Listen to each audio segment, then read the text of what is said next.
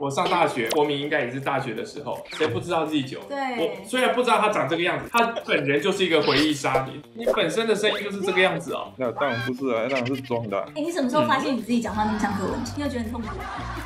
我用正常声音讲嘛。哦，你用正常声音，我想听一下。呃，之前去年吧，这正常声音吗？我有用正常的声音啊，你正常声音很正常，真的很正常。就很正常的声音啊。因为我从小到大也没有人说我像柯文哲啊。第九也是我小时候，哎、不是小时候了，读书的时候的偶像。我没有差那么多啊。我先帮小阿烈科普一下这件事情，因为小阿烈跟我们有有一个 gap。虽然说你你现在是知道是民众党的这个板桥的参选，可是你不知道我上大学，国民应该也是大学的时候，谁不知道 Z 九？虽然不知道他长这个样子，他本人就是一个回忆杀。Z 九，你那时候刚上大学干了什么事情？刚上大学就是在网络上替大家选民服务啊，包括国民歌、那个辅歌，比如说大家在网络上看到这个校园美女的时候，就会在 BBS 上问说，哎、她今天在哪一节下课，看到在哪里看到谁，然后穿着可能长发飘逸，穿着什么白色的裙子，然后背着什么双肩绿色的双肩后背包，这个人是谁？这样。那那时候因为大学生比较无聊嘛，用迟迟没有人回答这个问题，所以我就是主动去帮大家找